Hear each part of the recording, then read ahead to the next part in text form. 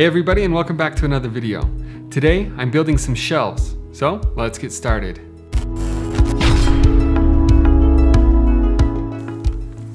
I wanted to build some custom walnut shelves, so I went down to the local lumber store and picked out some FAS one and a half inch thick walnut. I want the shelves to have a little bit of a rugged texture, so I picked out some boards with the knots exposed and some rough edges. I got the boards a little bit wider than I needed so that I could cut them down to the size that I want.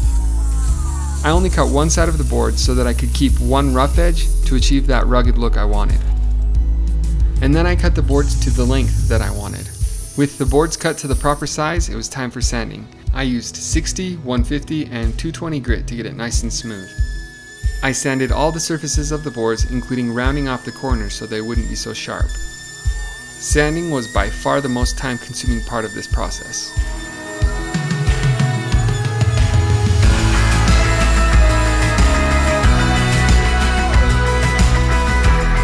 Next I wiped off all the sawdust with a damp cloth in preparation for the finish.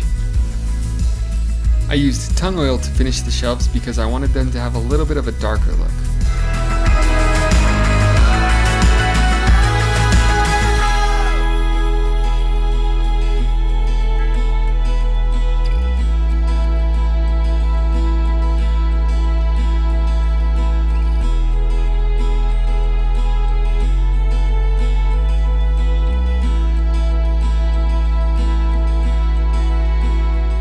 Now that I've given the shelves 24 hours to dry, it's time to hang them on the wall. And we've chosen this pipe style shelving to mount it on the wall.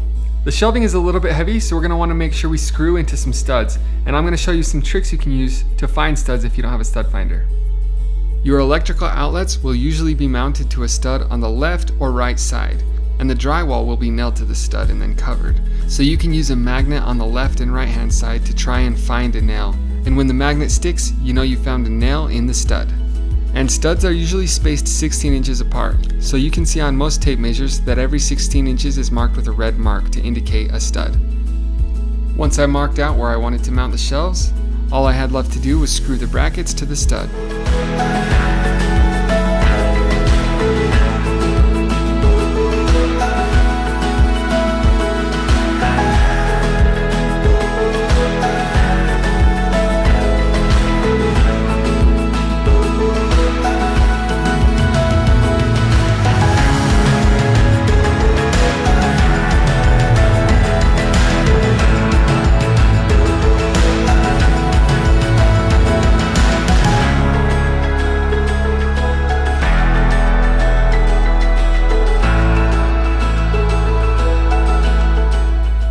Let me know if you have any questions in the comments. Make sure to like this video and subscribe to the channel if you haven't already. And thanks a ton for watching.